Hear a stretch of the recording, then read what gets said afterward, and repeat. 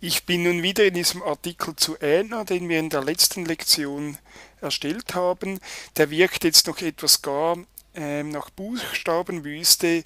Schön wäre natürlich, wenn da noch ein Bild für Auflockerung sorgen würde. Und jetzt möchte ich dir zeigen, wie du ein Bild ähm, einfügen kannst. Zunächst einmal müssen wir das Bild hochladen.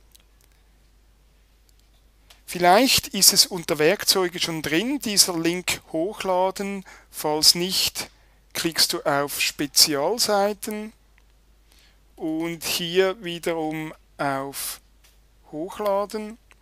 Selbstverständlich gehe ich davon aus, dass du angemeldet bist, ähm, sonst hast du nämlich diese Berechtigung nicht.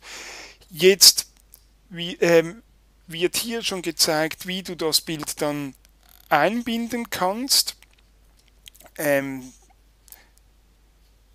das kannst du dir merken, ich zeige es dir aber nachher auch Schritt für Schritt. Das ist im Moment ähm, noch nicht das Thema. Zuerst muss es mal auf dem Webserver liegen.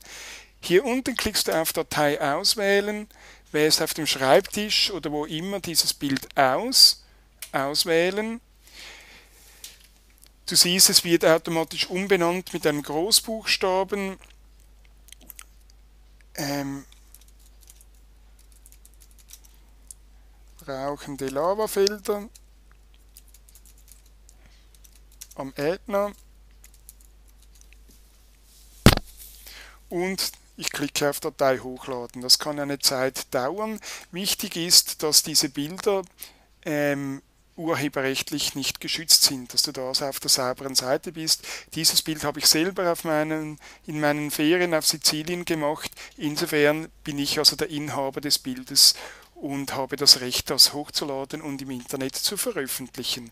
So, du siehst, das Bild ist also oben. Ähm, wichtig ist, dass du dir diesen Namen merkst, edna.jpg, ich kopiere ihn gleich, markiere ihn mit der gedrückten Maustaste, klicke auf Befehl C und jetzt suchen wir nach dem Artikel Edna.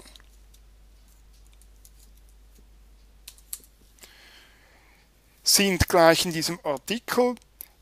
Ich klicke auf Bearbeiten und füge den, dieses Bild hier ein. Und zwar klicke ich mit der Maus vor den ersten Buchstaben und wähle das Bildsymbol, Dateilink, Bild, Doppelpunkt.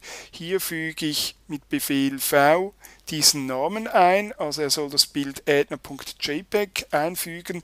Und jetzt ist immer das Problem, dieses Bild ist natürlich riesig groß, das ist etwa 2000 Pixel breit, also so breit als der ganze Bildschirm, das sieht doof aus.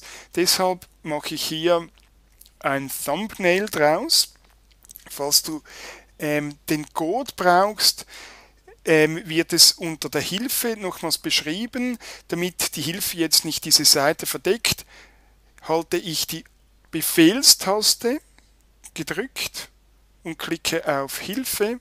So wird sie im Hintergrund aufgemacht und hier siehst du nochmals genau, was du einfügen musst.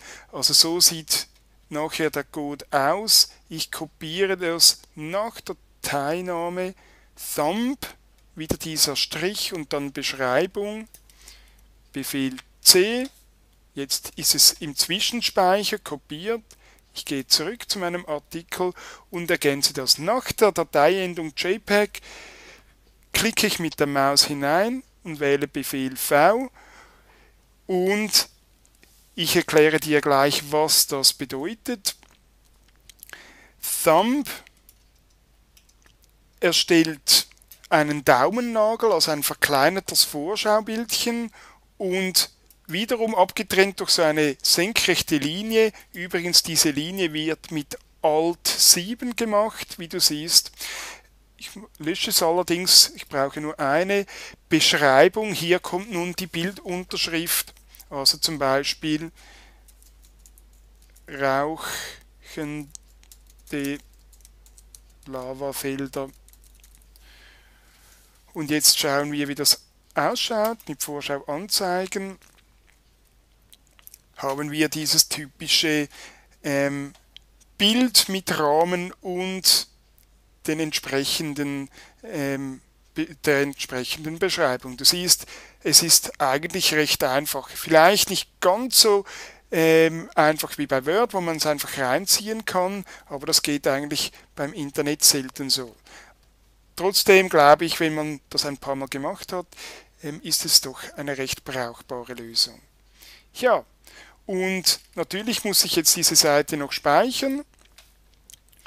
Und du siehst, wenn ich jetzt da drauf klicke, dann wird das Bild groß gezeigt. Mit einem Klick auf Zurück bin ich wieder zurück. Also wie gesagt, ganz wichtig ist, dass du das Recht auf dem Bild hast. Hier solltest du nicht schummeln, sonst bekommen wir Probleme mit dem Urheber des Bildes. Auch hier wieder wünsche ich dir viel Erfolg bei der Bebilderung, bei der Illustrierung deiner Artikel.